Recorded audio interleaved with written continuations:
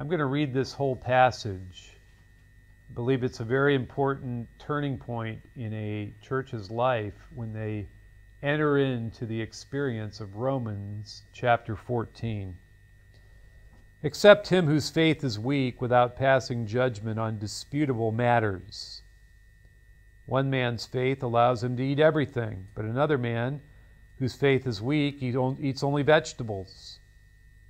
The man who eats everything must not look down on him who does not.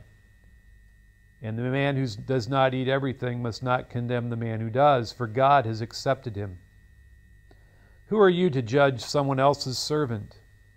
To his own master he stands or falls, and he will stand, for the Lord is able to make him stand.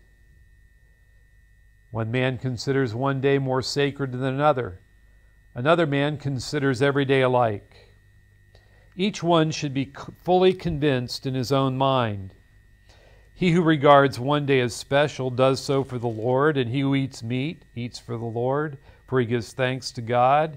And he who abstains does so for the Lord and gives thanks to God. For none of us lives for himself alone, and none of us dies to himself alone. If we live, we live to the Lord, and if we die, we die to the Lord. So whether we live or die, we belong to the Lord. For this very reason, Christ died and returned to life, so that he might be the Lord of both the dead and the living.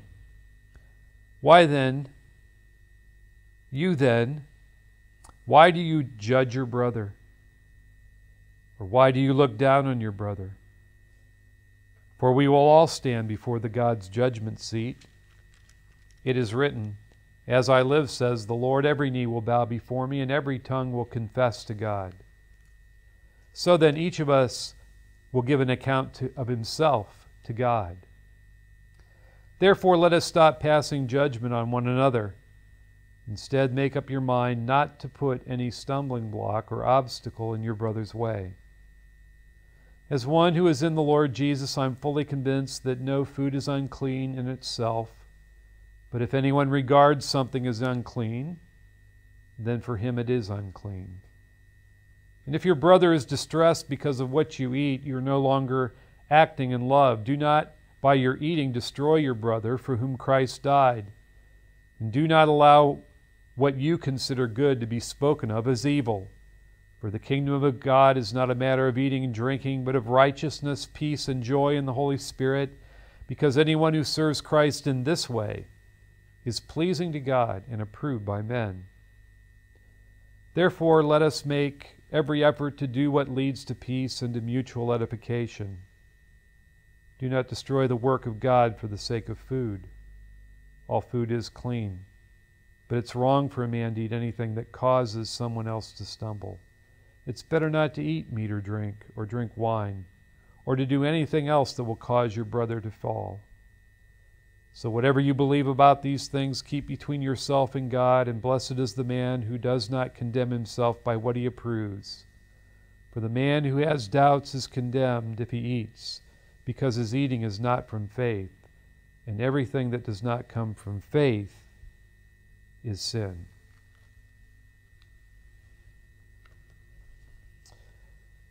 In Romans uh, chapters 1 through 13, we are given the essentials of the faith. We're given the absolute self evident truths of Scripture. In Romans chapter 1, we learn about the deity of Christ. In chapter 3, we're told that all have sinned and fall short of the glory of God. In chapter 5, we're reminded that we're saved by grace through faith in our Lord Jesus Christ. In chapter 8, the ministry of the Spirit is given. In chapter 9, We learn about God's plan for Israel. In chapter 12, his plan for the church. In chapter 13, his plan for government. So these are the essential truths that we all accept in the first chapters of Romans. And he concludes by giving us the essential truths of the ethics we all accept. And so in chapter 13, at the end of the chapter, we read in verse 12 The night is nearly over, the day is almost here. So let us put aside the deeds of darkness and put on the armor of light. Romans chapter 13, verse 13. Let us behave decently as in the daytime, not in orgies and drunkenness, not in sexual immorality and debauchery, not in dissension and jealousy. Rather, clothe yourselves with the Lord Jesus Christ. Do not, do not think about how to gratify the desires of your sinful nature. You know, in history, we're told that there was a man by the name of Augustine who had a sordid past. And one day he was in a garden after his mother had prayed for him for years, and he heard someone over a wall say, Pick up and read, pick up and read.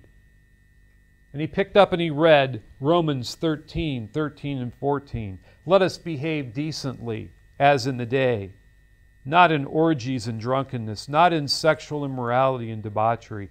Rather, clothe yourself with Christ and don't learn how to gratify the desires of the sinful nature. And Augustine was converted to Christ through those verses. And later he described it in his famous book, The Confessions. And so these are the self evident, absolute truths of morality that we find at the end of Romans chapter 13. But we turn a corner as we come into Romans 14.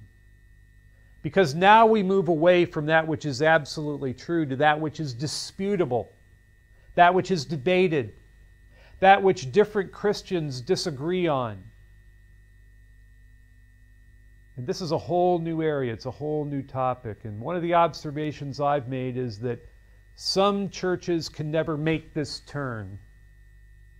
Some p- churches think that everything is black and white.